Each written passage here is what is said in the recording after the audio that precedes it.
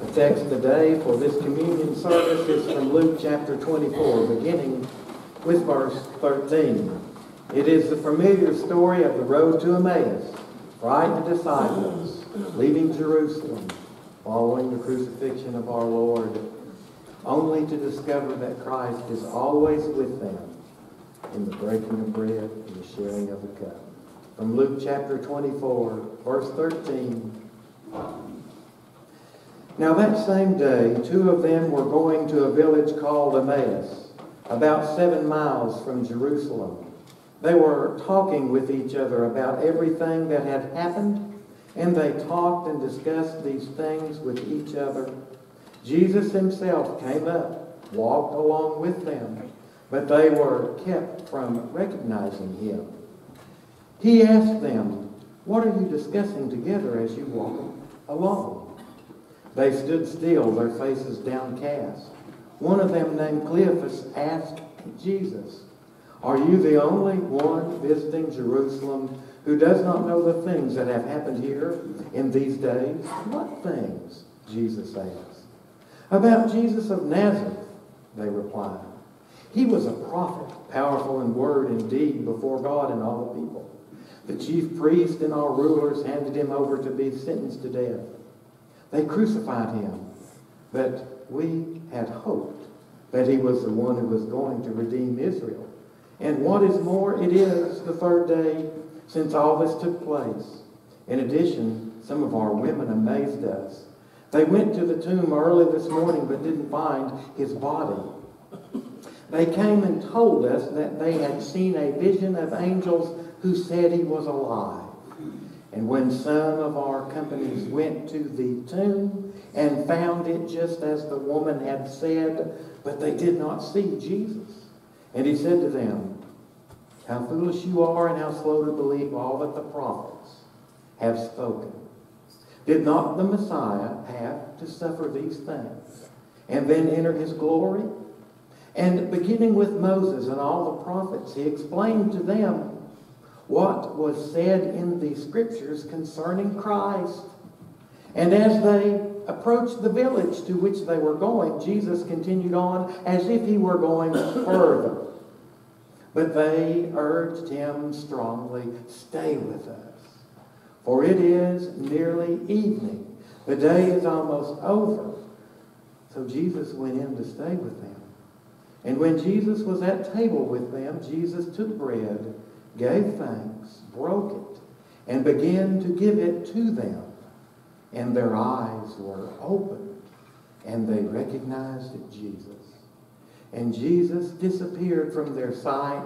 They asked each other, Were not our hearts burning within us while he talked with us on the road and opened the scriptures to us? They got up and returned at once to Jerusalem, where they found the eleven and those with them assembled together, saying, It is true. The Lord has risen and has appeared to Simon. Then the two told what had happened on the way and how Jesus was recognized by them when he broke the bread. Friends, this is the word of the Lord. Oh, gracious and loving God, may the words of our lips, meditations of my heart be acceptable in your sight. You are our salvation. Amen. More than ever, I'm convinced, looking at 2020, these are serious days we are about to embark upon. Oh, I tell you, we've been through a lot. I have been standing in pulpits for 40 years, the second week in May this year. My earliest memories are of the Cuban Missile Crisis, the assassinations of the 1960s, the Vietnam War. We've already lived through so much. Yet, I don't think no one has ever faced as serious days as we shall face in the coming year, the coming decade. People have lost the ability to identify what is true and what is false. Once upon a time, you had to earn the right to be heard. People had to know your credentials, your track record, your lifestyle. Today, anybody can sit down in front of a computer and spew out internationally uh, whatever they want to write. Blogging, bloggers. Uh, they don't have to defend it, they don't have to sign it, it doesn't have to be so. Vaccinations and drugs and, and uh, uh, childhood diseases, examples of how we struggle. What's truth? What's a lie? We read, we read, we read, and we read, and the more we read, we're awash in data, awash in information, yet, like never before, we are ever learning and still not able to come to the knowledge of the truth. The truth. The tragedy of our time is that the more data we have and the more information we have only is revealing one thing, and the revelation is how empty all of our lives really are. Mass shootings, investment frauds, um, elderly people swindled in telephones, um, 20, 200 billion dollars a year, the longest wars in our nation's history. Churches attacked. Why? Why? Why does this happen? A celebrity chef by the name of Anthony Bourdain over a year ago committed suicide at age 61 by hanging himself. He left behind a 13-year-old daughter. He, his job was to travel the world to eat the finest foods, to sit with the most influential people. That was his job. A dream lifestyle for any of us to have. He hangs. Kate Spader, only a week before that, a celebrity fashion designer, left behind an 11 year old daughter. She hung herself. And then the one liners start coming out in the news broadcast of these celebrity, iconic people who commit suicide. For Bourdain, everybody knows of his ag- uh, agnostic Epicurean lifestyle. Bourdain's one liner was, I never saw my body as a temple, I saw it as a fun house. Well, evidently the fun ran out. Kate Spader, uh, these very privileged, iconic people. She left behind an 11 year old daughter. She hangs herself. She leaves a suicide note the suicide note to her daughter, addressed to her daughter. This has nothing to do with you. Go ask your father. I wonder if anyone will be able to tell her the truth. Spent the rest of her life wondering why, why does my mother love me? What they are missing is they are missing that the truth, and the truth is how much God loves them I feel like Cleophas on the road to Emmaus, that frightened, discouraged disciple. Are you the only one that doesn't know of everything that's going on and all that we're struggling with? Why has this happened? Why does this happen in our world? Every human being needs an answer to the question, why?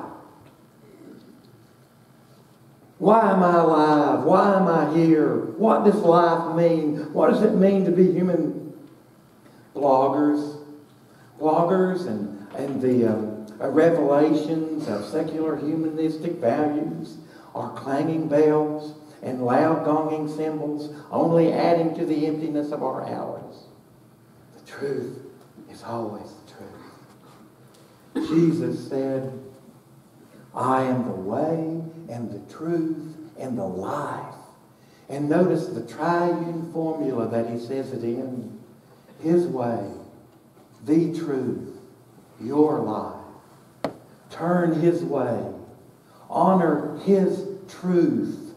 And he will give you, he will give you life. The common axiom in our culture is to dismiss that there is any truths at all. We live in a culture today, the absolute truths, if you speak of them, well, you're treated like you're an embarrassment. 500 years ago, rationalism became integrated in philosophy and in university movements, and man moved from being a religious being to a thinking being. 300 years ago, um, the Renaissance turned into modern world, and the empirical world began, and truth had to be brewed up in a laboratory, measured and improved. And then, with the French Revolution 200 years ago, Immanuel Kant brought a skepticism to the human psyche that supernatural and divine propositions no longer hold truth. And in the 20th century, in my lifetime, after the horrors of two world wars, the doctrine of relativism, an existential thought where every truth is just as valid as another truth, your truth and my truth. Truth is no longer absolute, but truth is something held in a privacy that I determine for myself. This is what has happened. We've lost all the definitions. We no longer have the power as men and women in the 21st century to define anything for ourselves, to find those simplest answers that keep us from the abyss. What is real? Who am I? Why am I here? The way, the truth, and the life.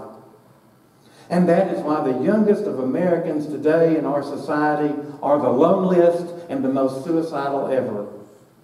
That is why the most privileged of people in our society today are the most depressed.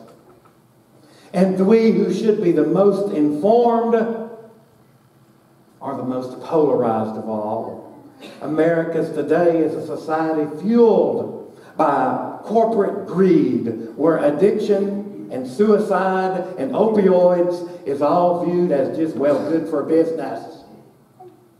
Not a single clergy person or counselor or school counselor has not sat with a young child or a teenager at some point in time who sobbingly asked them, I'm thinking about suicide, can you tell me why I'm here? What do I need to do? Winston Churchill, the great guardian of democracy in the mid 20th century, he said, Truth is the most valuable thing in the world. Yet we sell it so easily and abandon it so quickly. Nathan Sharansky, a Russian born former Israeli justice minister. When he retired, he returned to Russia to the now abandoned KGB prison where he had spent years in solitary confinement. An entourage of cameramen and newscasters are following him. What's he going to do? He comes up to the abandoned KGB prison. He says to his wife, Give me a moment to go in there by myself. For it was in that dark loneliness, when the only input I had was what I already had in my heart, I discovered who I was. He went into that KGB prison, now abandoned, spent some time, came back out. The paparazzi all there with their microphones. Make a statement, make a statement. What are you going to say? He said, The only statement I'll make now is I'm going to go to see the grave of Andrei Sakharov. He went to this grave, it was a nearby cemetery. Sakharov was the physicist who gave the USSR the atomic bomb. He lays a wreath on Sakharov's grave. Sharansky, an Israeli official, lays a wreath on his grave. He turns to the press. Now I'm ready to make my statement. And he says, the reason I wanted to honor this man is because late in his life he wrote, I was wrong. I used to think that the greatest power in all the world was the atomic bomb. But now I've realized it is the truth. Jesus is the way, the truth, the life. America, Americans, we need the truth. Truth is the most powerful, valuable, important, precious of all commodities. It is so ironic that culture today is built on a proposition, a foundational proposition, that there is no longer an absolute truth. Please hear me carefully. Serious days. We've lost our definitions. We can no longer define what truth and a lie is, what the meaning of life, purpose of life, why I'm in here, what it means to be human, what it means to be married, what it means to be a parent, what it means to be evil, moral, or to take responsibility. Ironic that a culture cast itself out on a sea of no absolute truths, pins its new moral compass on the one institution that is universally despised and mistrusted the political. The political correctness. It's beyond ironic. It's disastrous. It's sinister. Talk about truth for a moment. I thought that was my grandson. It's okay. It's okay. Great day for your family. Truth is, I want to tell you about a Malcolm Muggeridge, the Chronicles of Wasted Time. He writes, Truth is very beautiful. And he writes, The human quest for justice continues. And as the instruments of human warfare pile up, truth becomes the first casualty. The lies on behalf of wars, peace treaties, revolutions, counter-revolutions, the lies of the ad man, the lies of the salesmanship, the politician, the lies of the priest in the pulpit, the professor at the podium, the journalist at the keyboard, they all stick in our throats like fish bones and choke the life out of us. The lies of paparazzi and cameramen and microphones. Muggeridge goes on to write, Ex- Exasius Silone, who was a member of the Kremlin, told him, seeing a first-time delegate to the Kremlin in the days of the USSR, going to a strategic planning meeting, hearing what the proclamation was going to be, said, We can't say that. It's not true. A silence fell over the Kremlin walls. And then a roar of laughter as someone, of another delegate exclaimed, When did that ever stop us from doing anything? That same laughter, Muggeridge writes, is still in every boardroom and every council room around the world today. It is not God that is dead.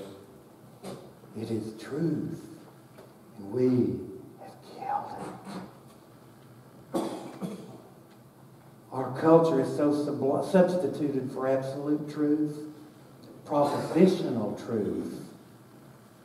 Propositional truth is when you can design something that um, supports what you need your agenda at that moment. An illustration. These are my gloves. My wife gave them to me 10 years ago. For Christmas, these are my gloves. I wear them every day driving to work. These are my gloves. Propositionally, though, if it suits me, I can flex my fingers and I can go, they don't fit. And a propositional truth is, if they don't fit, you must acquit. But the absolute truth is, if you committed the crime, you're guilty. That's the truth. That's the difference. Malcolm Muggeridge would write, in this great sea of fantasy and fraud, how can anyone hope to swim unencumbered? For where is truth? Can you find truth in a studio stage, in a movie prop? Who will dare to pull back the curtain and expose the masquerade that we might once again catch that still small voice, small voice of God.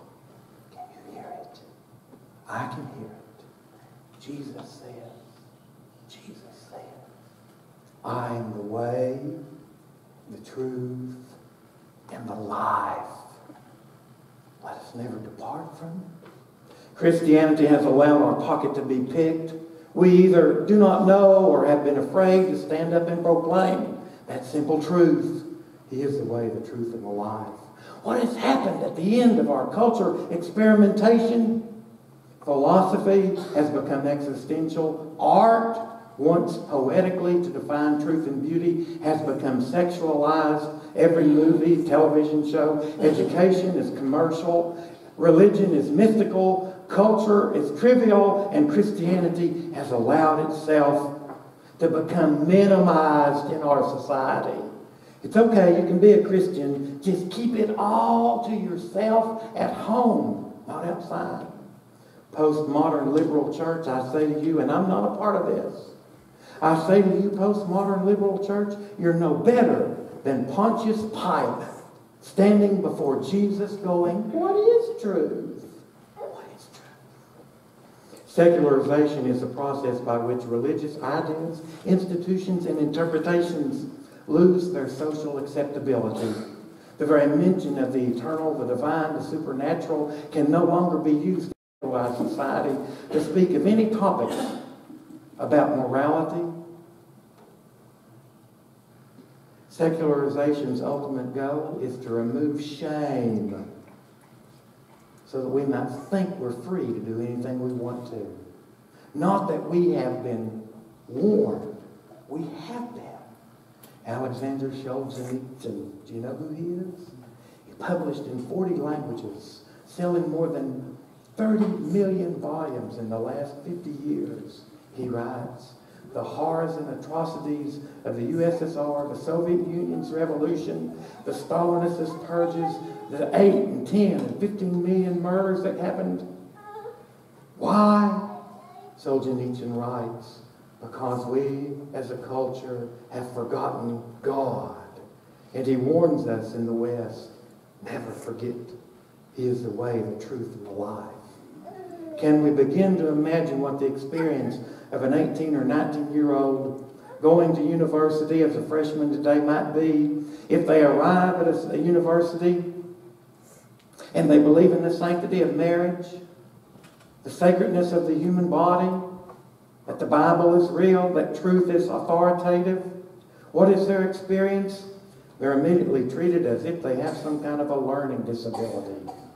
And by social pressure and academic pressure, strained and pushed to become yet one more member of another generation of those who live with relativistic values.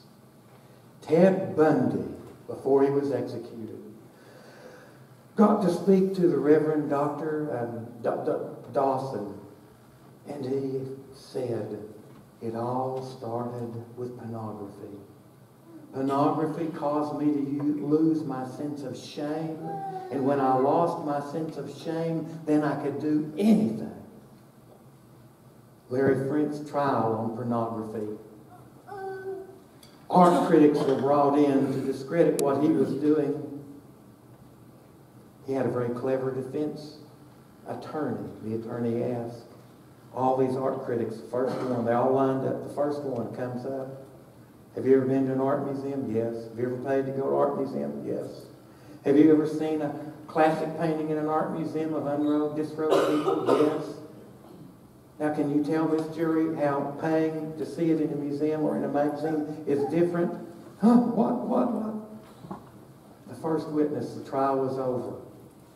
Maybe in hindsight, someone should have said, no spouse divorces another spouse because one decides to spend too much time in an art museum.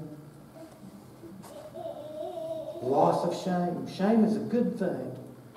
Shame, the conviction of God, it keeps us from that which is bad for us or wrong.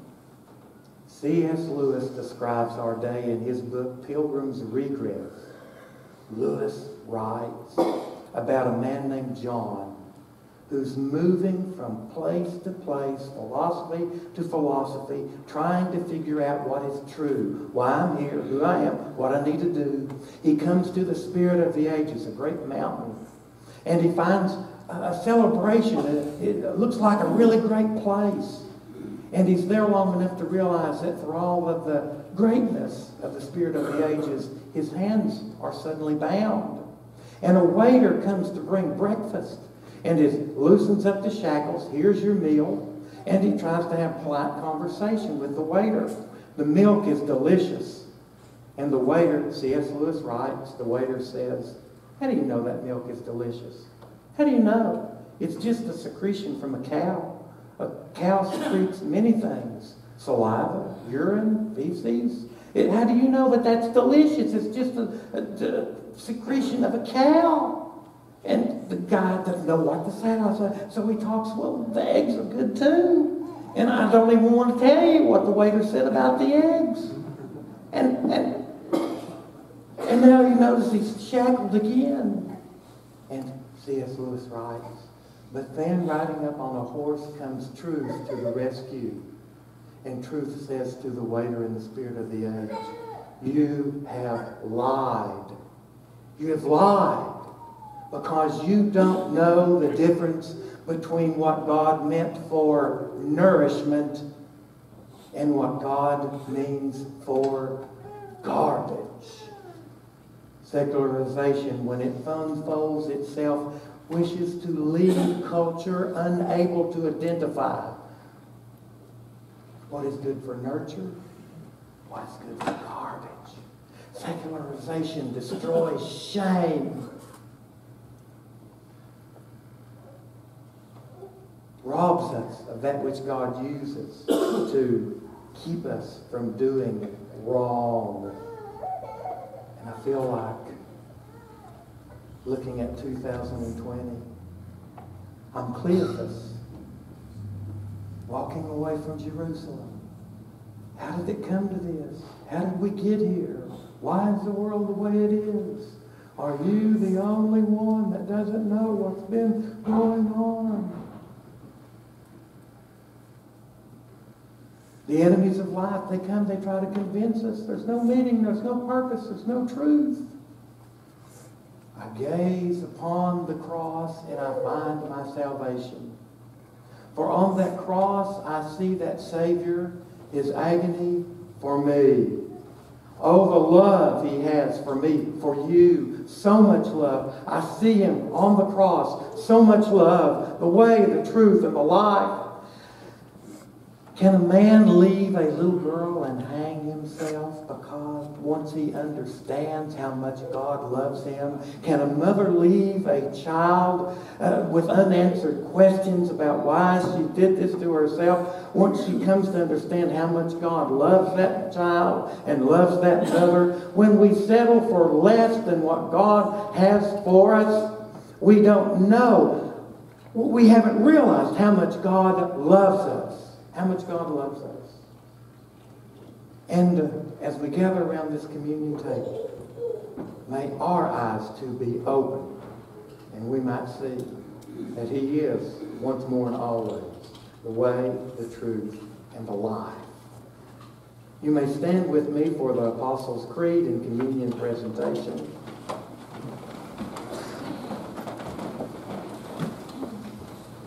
I believe in God the Father Almighty, the maker of heaven and earth, in Jesus Christ, his only Son, our Lord, who was conceived by the Holy Spirit, born of the Virgin Mary, suffered under Pontius Pilate, was crucified, dead, and buried. He descended into hell, and the third day he rose again from the dead. He ascended into heaven, and sitteth on the right hand of God the Father Almighty. From thence he shall come to judge the living and the dead. And I believe in the Holy Spirit, the church universal, the communion of saints, the forgiveness of sins, the resurrection of the body, and the life everlasting. Amen. You may be seated. Lord, as we begin this new year, I pray that as we gather at this communion table, our eyes might be opened our hearts might be filled, and we might forever recognize that you are the way, the truth, and the life. Hear us as we pray together. Almighty God, in Jesus Christ, you call us to be your servant people. But we do not do as you command. We are often silent when we should speak. We are often useless when we should be helpful. We are often lazy, timid, and distracted disciples. Have mercy upon us. Free us from the sin that continually stalks us. In this communion moment, we would become closer to you through Jesus Christ. Amen. Have your own moment of personal silent communion preparation, prayers, and confession.